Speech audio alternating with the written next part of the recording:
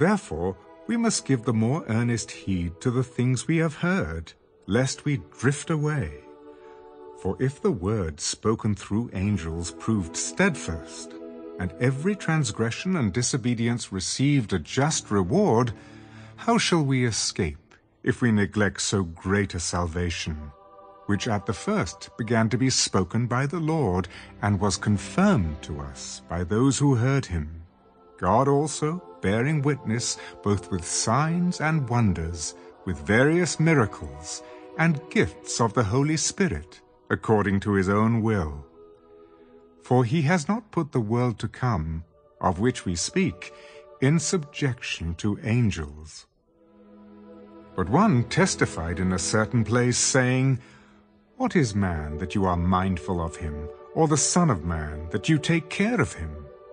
You have made him a little lower than the angels. You have crowned him with glory and honor, and set him over the works of your hands. You have put all things in subjection under his feet.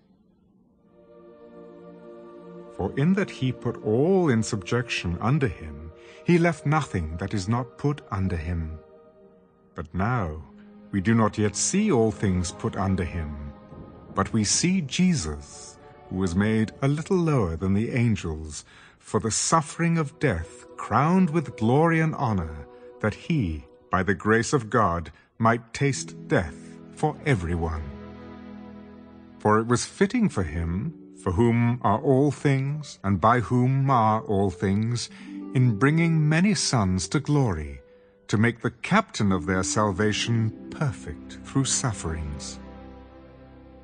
For both he who sanctifies and those who are being sanctified are all of one, for which reason he is not ashamed to call them brethren, saying, I will declare your name to my brethren.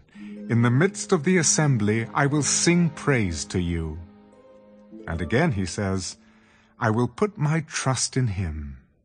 And again, Here am I and the children whom God has given me.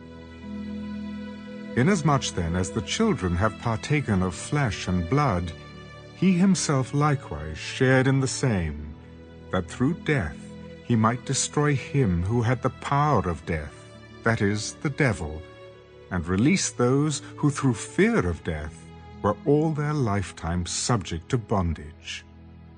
For indeed, he does not give aid to angels, but he does give aid to the seed of Abraham.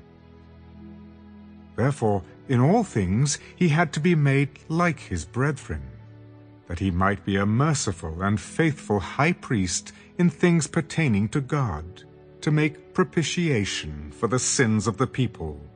For in that he himself has suffered being tempted, he is able to aid those who are tempted.